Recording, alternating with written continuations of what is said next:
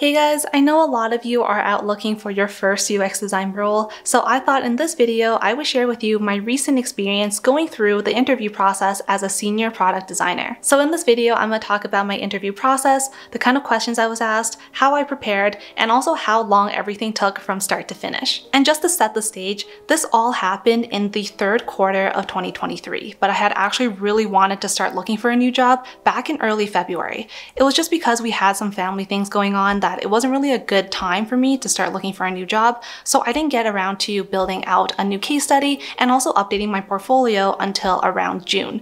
So around that time, you would have seen on my channel how I was updating my portfolio and also writing a new case study and creating a case study presentation using ChatGPT. So if you're interested, I'll definitely link those videos here so that you can view them. And the strategy for me was really to work on a new case study presentation.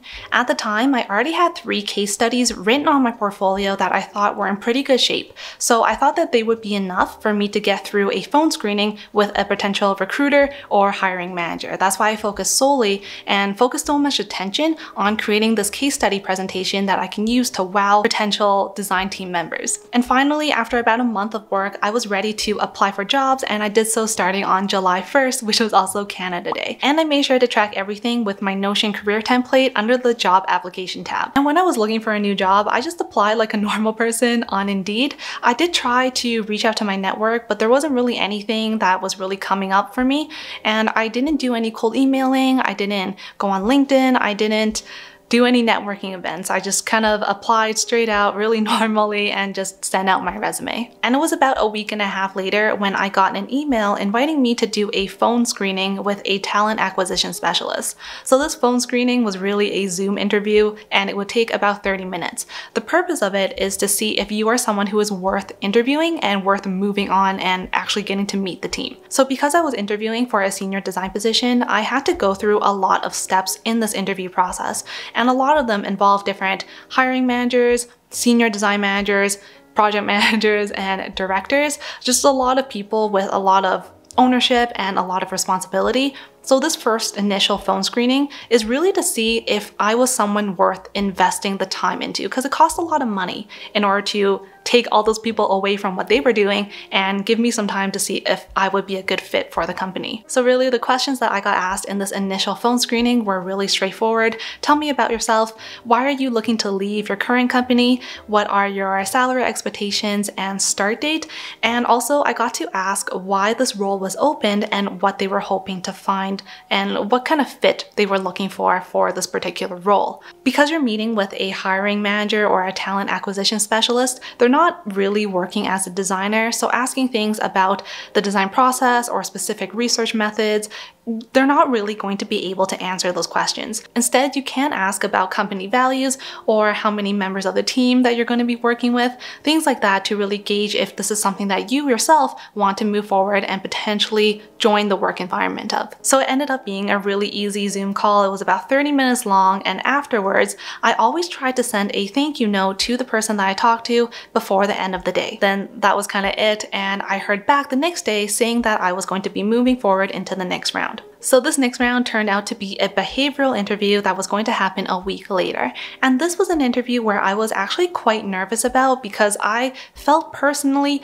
pretty rusty when it came to interviewing because it had been so long since I've done a real interview. So for my last role, I didn't actually apply for that job and they had found me through my social media, my Dribbble and just like things like that. So they had already taken a look at the work I was able to produce, my YouTube videos, my portfolio, my case studies, and when they had reached out, it just felt like more of a vibe test than it was an actual interview. So I wasn't very nervous for that one because why would they bother talking to me after they had seen all my work if they didn't think I would be capable of doing the role that they wanted me to do. So this interview definitely felt like a real interview and I was definitely very nervous about it going in. Now for this behavioral interview, it was with a senior design manager and it was going to be an hour long. The interview itself was super structured.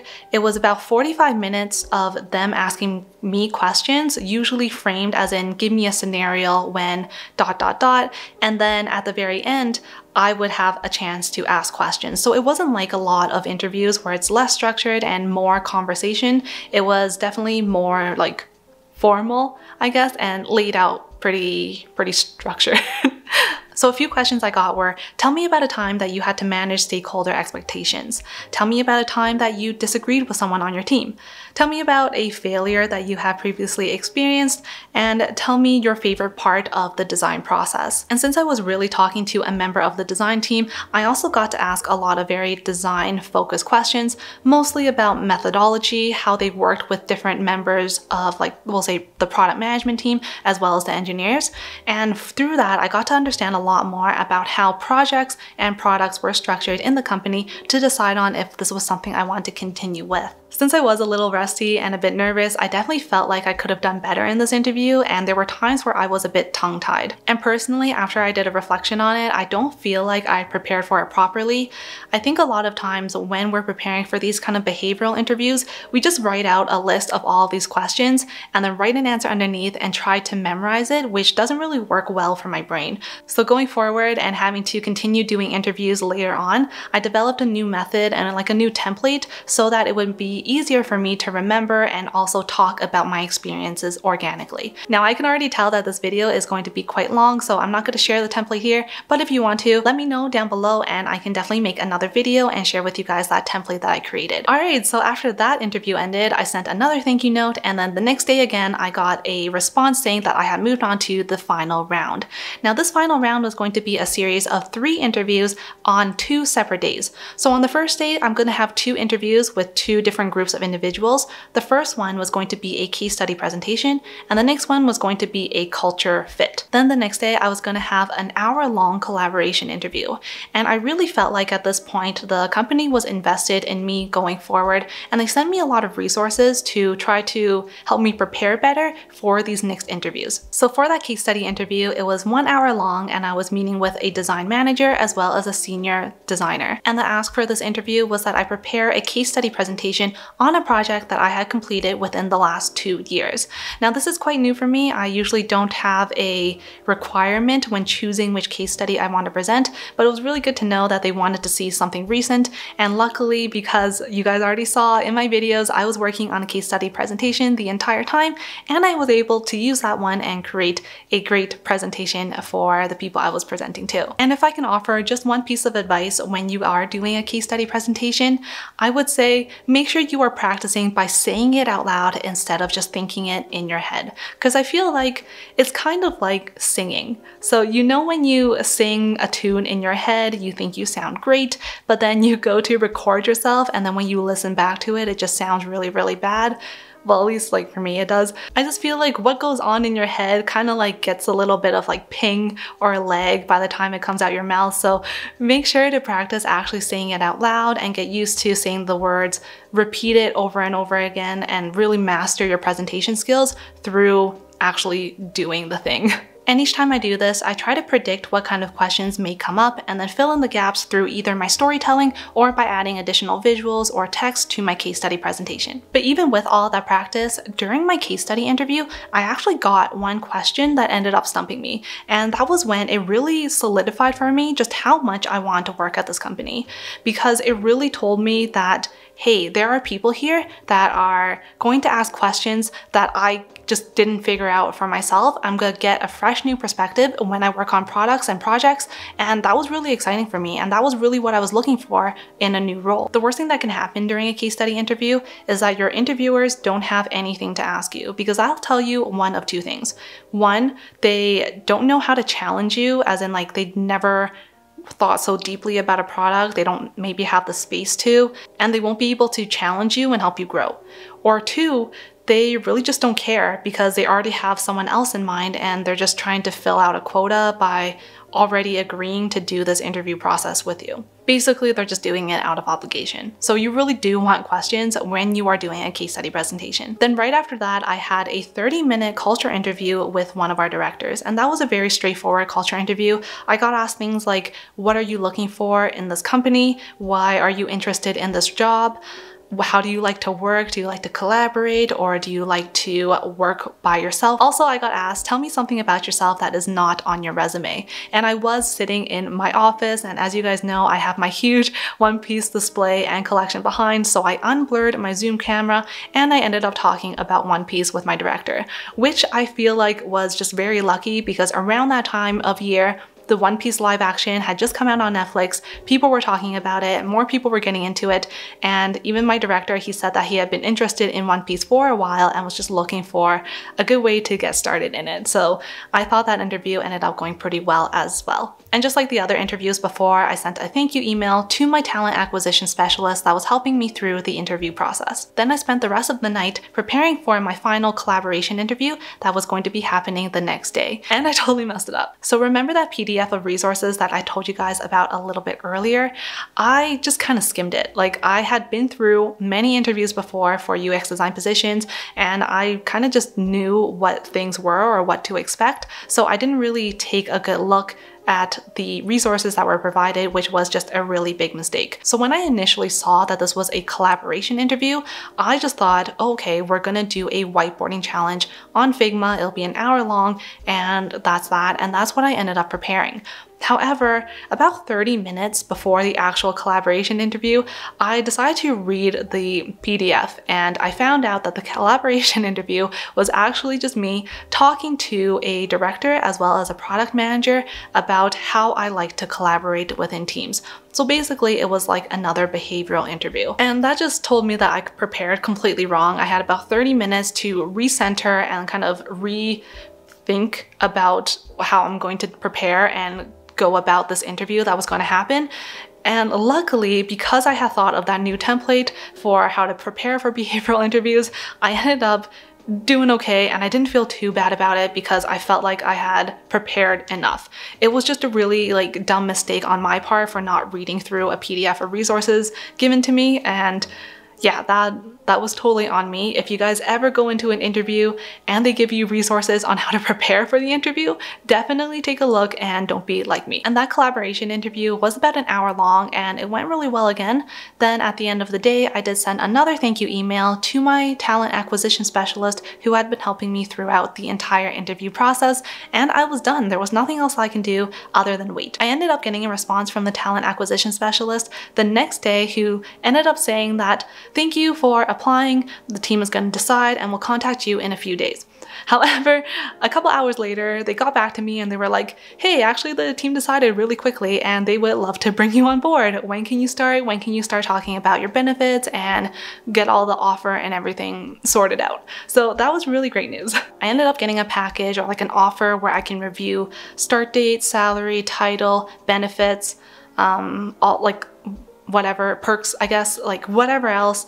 And I had the weekend to really think about it and that was kind of it. It was, it was really good and a really smooth process overall.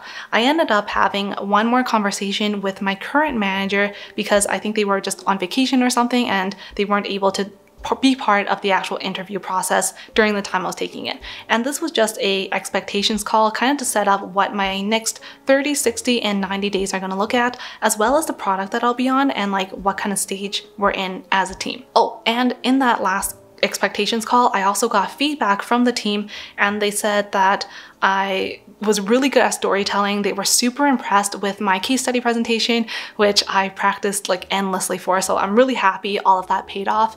And they felt that I was really willing to accept feedback and looking forward to learning from the team as well as like mentoring and teaching junior and intermediate designers on the team as well. So that was really, really good to hear. All that was done and I ended up signing it and that was kind of that. So the interview process, I, I started preparing seriously in June and then I started applying in July. Then the interview process itself with this company went from about mid-July or late July to mid-August. So all in all, it took about a month for all of these interviews and conversations and emails back and forth and everything. And I fully recognize just how much good timing um, and honestly like luck came into me finding a new role that would be such a good fit. So yeah, I'm definitely very, very grateful for that. And I totally understand that this may not always move as quickly. However, it is something that happened happened to me and was my situation. So after I signed the offer in August, I didn't actually start until early September, which gave me a few weeks of just pure relaxation. Like I cannot tell you guys how much I needed some time off. for the entire 2023 until like that point, I had only taken two vacation days the entire year. Like I was exhausted and it was really just not good. Like I I really needed this break and I'm so glad I got to I got to do it and it was a really just wonderful summer. But yeah, I hope this video can give you kind of like a look behind the veil of how a interview process looks like for a senior product designer. I think the company that I work for was quite structured, so um, it it went by very smoothly and also very methodically, methodically, very structured. I'll just say structured. It was very structured. um, I, not every company is going to work like this. Some interview processes are going to be faster. Some might take a while longer. So it, this is just one example of something that can happen for you guys too. But yeah, I think this takes us to the very end of this video. As you guys can see, it is getting quite dark outside, so it is about time for me to start dinner. I just want to say I wish you guys the best of luck going into UX finding those UX design positions, going through your interviews, and really starting your journey in this career. If you have any questions about the interview process or just case study presentations or your resume or anything like that, feel free to leave a comment below, or you can also sign up for one-on-one -on -one coaching time with me personally through SuperPeer. There is a link in my description which you can use. So yeah, I think that brings us to the very end of this video. Thank you guys so much for watching. Also, thank you to everyone who joined in on my first UI design stream. I had so much fun and I can't wait to keep doing more with you guys. So definitely follow me on Twitch if you guys are interested in just joining for like a really chill, really cozy kind of UI streaming process and like watching me design and everything. So yeah, thank you for watching as always and I will see you guys in the next video. Bye!